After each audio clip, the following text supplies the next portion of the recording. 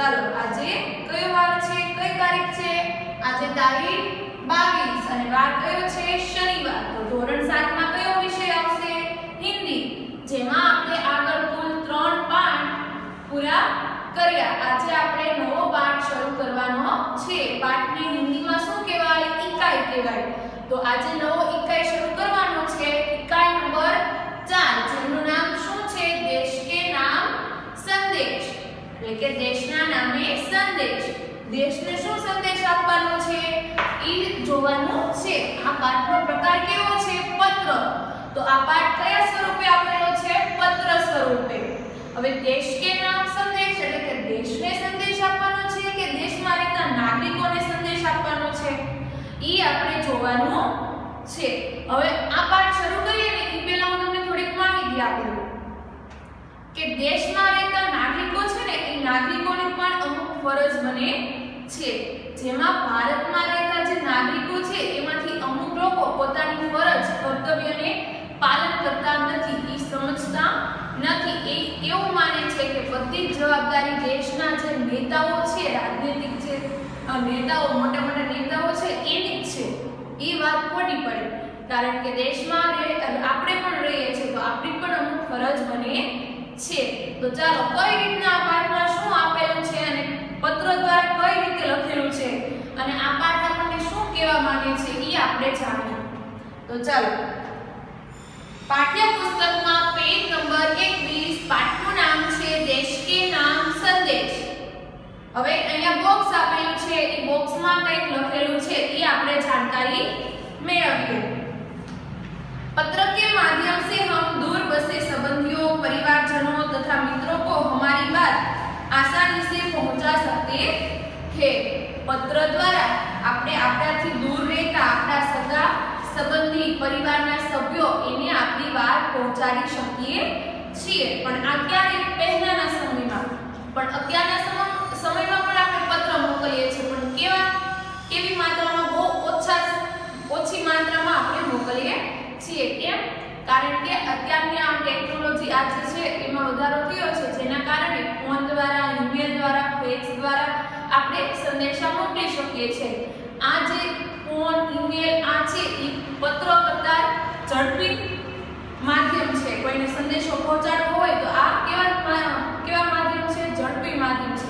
જ્યારે આપણે કોઈને પત્ર લખવો હોય તો એ પત્ર પહોંચતા પહોંચતા ઘણો સમય લાગી જતો પણ આ ફોન દ્વારા તમે મિનિટના માઇનોર ભાગમાં એટલે કે નાના એવા નાની એવી સેકન્ડમાં તમે સામેવાળી વ્યક્તિને સંદેશો પહોંચાડી શકો છો જ્યારે પત્રમાં ખૂબ જ વાર લાગતી ખૂબ જ સમય લાગતો तो पत्र के माध्यम से हम दूर बसे संबंधियों परिवारजनों तथा मित्रों को हमारी बात आसानी से पहुंचा सकते हैं પત્રના માધ્યમથી આપણે આપણા સગા સંબંધી પરિવારજનો મિત્રોને આપણી વાત આસાની એટલે કે સરળતાથી આપણે પહોંચાડી શકીએ છીએ एवं सरकारी दफ्तरों में हमारी शिकायतें और आवेदन पहुंचा सकते हैं પત્રો છે પત્રના ઘણા બધા પ્રકાર છે કોઈને શુભેચ્છા આપતો પત્ર કોઈને અ, વ્યવસાય વ્યવસાયને લગતો પત્ર કોઈને શિકાયતને લગતો પત્ર રજા માટેનો પત્ર એવા ઘણા બધા પ્રકાર પડે છે તો અહીંયા શું કીધું છે एवं सरकारी दफ्तरों में हमारी शिकायतें और आवेदन पहुंचा सकते हैं સરકારી દફતર દફતર એટલે કે ઓફિસ જે સરકારી કાર્યાલયો છે એ કાર્યાલયોમાં આપણે આ પત્ર દ્વારા આપણી શિકાયતો આપણે કોઈ પણ રજૂઆત કરવી છે એ રજૂઆત કરી શકીએ છીએ आजकल दूरभाष मोबाइल तार ईमेल आदि से भी यह कार्य किया जाता है फिर भी पत्र का अपना विशेष महत्व है જો આવ્યું મેં આગળ કીધું હતું એમ અત્યારે આપણે દૂરભાષ એટલે કે સંદેશ એવું એવું સાધન આવે મોબાઈલ તાર ઈમેલ આ બધાથી આપણે સંદેશો પહોંચાડી શકીએ છીએ પણ પત્રનું મહત્વ તો એવું ને એવું જ છે हमारे पूर्व राष्ट्रपति एवं मिसाइल में ડોક્ટર અબુલ ફકીર જેનાલુદ્દીન અબ્દુલ કલામ જે આપણા પૂર્વ, જે પહેલા આપણા જે રાષ્ટ્રપતિ હતા, અબ્દુલ કલામ, જેમના, જેમને આપણે એપીજે અબ્દુલ કલામ એ રીતના ઓળખતા. એપી જે અબ્દુલ કલામ. પણ આ એપીજે છે એ એનું શોર્ટ નેમ છે, ટૂંકું નામ છે. તો એનું આખું નામ શું છે? તો આખું નામ છે અબુલ અબુલ ફકીર જેના જેનું લાબદીન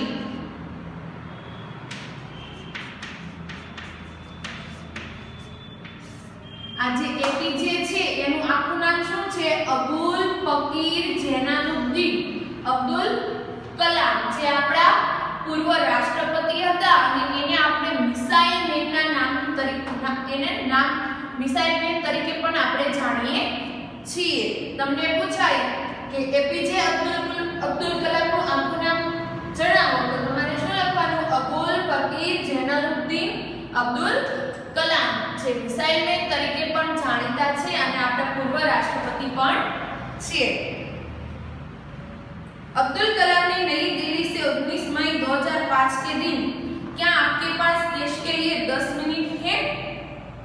અબ્દુલ કલામ છે, એને નવી દિલ્હીથી 19 મે 2005 ના દિવસે જે ટોપિક છે, જે કયા સબ્જેક્ટ પર, કયા વિષય પર એ વાત કરે છે એ વિષયનું નામ છે, શું તમારી પાસે દેશ માટે દસ મિનિટ છે? આના દ્વારા દેશ કે નાગરિકો ઇમેલ ઈમેલ કિયા હતા આ વિષય દ્વારા એને દેશના જે નાગરિકો છે, દેશમાં રહેતા નાગરિકો એને ઇમેલ કર્યો હતો. इसमें देशवासियों के मन में देशाभिमान की भावना उत्पन्न हो ऐसी सीख भी रखी गई है આમાં શું હતું આ ઈમેલ દ્વારા શું નાગરિકોને જાણવા મળશે કે એને દેશ પ્રત્યેનું જે માન છે ઈ એની ભાવના છે ઈ ઉત્પન્ન થાય એવી આમાંથી શીખ મળે એવો ઉદ્દેશ્ય હતો અબ્દુલ કલામનો આ વિષય દ્વારા એ નાગરિકોને જણાવવા ઈચ્છતા હતા આપણે કઈ રીતે આપણે અત્યારે ભારતના વડાપ્રધાન કોણ છે? નરેન્દ્ર મોદી. જે મહિનામાં મહિનાના એન્ડમાં રવિવાર રવિવારે, સવારે એ શું પોતાના મનની વાત રજૂ કરે છે? કોની સમક્ષ? તો દેશના નાગરિકો સમક્ષ. એવી રીતના અબ્દુલ કલામ છે એ એનો વિષય કયો છે? કે તમારા માટે, દેશ માટે દસ મિનિટ છે, એવો એનો વિષય છે અને આના દ્વારા એ લોકોને ઈમેલ કરે છે. જ્યારે નરેન્દ્ર મોદી કેના દ્વારા સંભળાવે છે? રેડિયો દ્વારા. રેડિયોમાં, રેડિયો પર બોલતા હોય અને દેશના નાગરિકો એને સાંભળતા હોય. એ નરેન્દ્ર મોદીનો વિષય છે કે મન કી બાત, એટલે કે પોતાના મનમાં કેવી કેવી વાતો એ અનુભવે છે એ વાતો એ નાગરિકોને રજૂ કરે છે એવી રીતના અબ્દુલ કલામ છે એ ઈમેલ દ્વારા મોકલે છે અને એનો વિષય કયો છે કે શું તમારા માટે સોરી શું? તમારી પાસે દેશ માટે દસ મિનિટ છે તો ચાલો કઈ રીતના અબ્દુલ કલામ પોતાના મનની વાત રજૂ કરે છે દેશના નાગરિકોને? તો પત્ર લેખક, પત્ર પત્ર સ્વરૂપે છે તો હંમેશા હિન્દીમાં પત્ર લખો તો પત્રમાં સરનામું કઈ બાજુ આવશે? ડાબી બાજુ. હવે આ પત્રમાં શું છે કે અબ્દુલ કલામ જે ઈમેલમાં વાત રજૂ કરે છે, એ કોઈ બે વ્યક્તિ છે. એ બે વ્યક્તિ માંથી જે પત્ર લખે છે ને એ આ પત્ર પત્રમાં આ જાણકારી લખે છે જે અબ્દુલ કલામ બોલ્યા હતા એ પત્રમાં લખે છે અને પોતાના મિત્રોને મોકલે છે એ રીતના છે. તો જુઓ, પત્રમાં સરનામું હંમેશા હિન્દીમાં, પત્રમાં સરનામું કઈ બાજુ આવશે? ડાબી બાજુ. તો જુઓ માતૃછાયા ઊંચી શેરી ગાંવ મેસપુરા, તહસીલ બાબર, જિલ્લા બનાસકાંઠા અને દિનાંક ચોવીસ બાર, બે હજાર અગિયાર છે. માતૃછાયા ઊંચી શેરી ગામ, એટલે કે ગામ ગામ કયું છે? મેસપુરા. તહસીલ, એટલે કે તાલુકો. તાલુકો કયો છે? ભાભર. અને જિલ્લા કયા છે? એટલે કે જિલ્લો કયો છે? બનાસકાંઠા. તારીખ કઈ છે? 24 બાર 2011 24 બાર 2011 જ્યારે ઈમેલ ક્યારે મોકલવામાં આવ્યો હતો? 19 મે 2005 માં પ્રિય મિત્ર હર્ષ, નમસ્તે. પ્રિય મિત્ર હર્ષ નમસ્તે. કિરણ નામનો કોઈ છોકરો છે એ પોતાના મિત્ર હર્ષને પત્ર લખે છે અને પત્રમાં કેના વિશે લખે છે? જે અબ્દુલ કલામ ઇંગ્લેન્ડ દ્વારા જે બોલ્યા હતા એ પત્રમાં લખે છે. તો કિરણ પોતાના મિત્ર હર્ષને પત્ર લખે છે. યાદ રાખજો, કિરણ પોતાના મિત્ર હર્ષને પત્ર લખે છે. નમસ્તે. એટલે કહે છે, નમસ્કાર. મેં યહા સહકુશલ હું. આશા હે મહાસભી સહકુશલ सहकुशल હોગે હું અહીંયા સહકુશળ છું અને મને આશા છે કે તારા પરિવારવાળા પણ સહકુશળ હશે तुम्हारा खत मिला पढ़कर खुशी हुई તારો પત્ર મળ્યો વાંચીને મને ખુશી થઈ मैंने डॉक्टर अब्दुल कलाम का देशवासियों के नाम भेजा गया एक ईमेल पढ़ा वही तुम्हारे लिए प्रेषित कर रहा हूँ मैंने सॉरी मैं डॉक्टर अब्दुल कलाम નો દેશવાસીઓને જે અ, સંદેશો મોકલ્યો હતો, ઈ જે સંદેશ, ઈ વાત છે, ઈ ઈમેલ છે, ઈ જ હું અહીંયા તને પ્રેષિત એટલે કે હું અહીંયા તને રજૂઆત કરું છું, એટલે કે મોકલું છું. પ્રેષિત, એટલે પ્રેષિત કર રહા એટલે પ્રેષિત કરવું એટલે રજૂ કરવું આમાં પત્રમાં હું લખું છું એ રીતના. હવે જો, ડોક્ટર અબ્દુલ કલામ એ દેશને શું કહે છે એ વાત આમાં હવે શરૂ થાય છે. डॉक्टर कलाम अपने संदेश की शुरुआत में ही पूछते हैं क्या आपके पास अपने देश के लिए 10 मिनट का समय है હવે ડોક્ટર અબ્દુલ કલામે જે ઈમેલમાં વાત લખી છે એ વાતની અહીંયા શરૂઆત થાય છે તો શરૂઆતમાં ડોક્ટર અબ્દુલ કલામ છે એ પોતાના નાગરિકોને પૂછે છે કે શું તમારા દેશ માટે તમારી પાસે 10 મિનિટ છે यदि हाँ तो इसे पढ़िए वरना मर्जी आपकी તો અબ્દુલ કલામે સવાલ કર્યો કે શું તમારી પાસે 10 મિનિટ છે દેશના નાગરિકો માટે? જો હા, તો આગે વાંચો, નહીતર તમારી મરજી. इसके बाद वह देश के लोगों की सोच बताते हुए कहते हैं પછી આ આ વાત રજૂ કરે છે ને, પછી દેશના લોકો શું વિચારે છે? એની અહીંયા વાત રજૂ કરે છે. તો જો પહેલા શું કહે છે? આપ કહતે હે, હમારી સરકાર નિકમ્મી હે. અબ્દુલ કલામ છે, એ નાગરિકોને પોતાનો સંદેશો રજૂ કરે છે. રજૂઆત કરતા પહેલા એ પ્રશ્ન પૂછે છે કે શું તમારી પાસે, તમારા દેશ માટે 10 મિનિટ છે જો હોય તો અ, આ વાંચો નહીતર તમારી મરજી ત્યાર પછી દેશના લોકો દેશના જે નાગરિકો છે એ દેશ માટે કેવું વિચારે છે એ અહીંયા રજૂઆત કરેલી છે તો અબ્દુલ કલામ કહે છે કે તમે કયો છો, એટલે કે દેશના નાગરિકોને કહે છે કે તમે એમ કહો છો કે આપણી સરકાર નકામી, એટલે કે નિકમ્મી છે, એમ કહે છે. આપણી સરકાર નિકમ્મી છે. આજ કહતે હે હમારે કાનૂન પૂરા નહીં પડ ગए એટલે કે અબ્દુલ કલામ છે એ કોને કહે છે? નાગરિકોને. એટલે એમ કહે છે, તમે જ લોકો એમ કહો છો કે આપણા કાનૂન છે એ જૂના પડી ગયા છે, આપણી સરકાર છે એ નકામી થઈ ગઈ છે. આપ કહો કે હે, નગરપાલિકા નહીં ઉઠાતી તમે એમ કહો છો કે આપની જે નગરપાલિકા છે, એ કચરો પણ લેતી નથી. આપ કહો કે હે, ફોન કામ નહીં કરતા. આપ તમે જ કહો છો કે ફોન કામ કરતો નથી. રેલવે તો એક મજાક બની ગઈ છે. એરલાઇન એરલાઇન દુનિયાની મેં હમારી હી સબસે ખરાબ. હે એરલાઇન જે વિમાન સેવા છે, એ આખી દુનિયામાં આપણી સૌથી ખરાબમાં ખરાબ વિમાન સેવા છે. એવું આપ આ બધું વિચારે છે કોણ? દેશના નાગરિકો વિચારે છે. એટલે અબ્દુલ કલામ બેને એવું કહે છે કે તમે આવું બધું વિચારો છો એમ. ચિઠ્ઠી આપની મંજિલ તક નહીં પહોંચતી.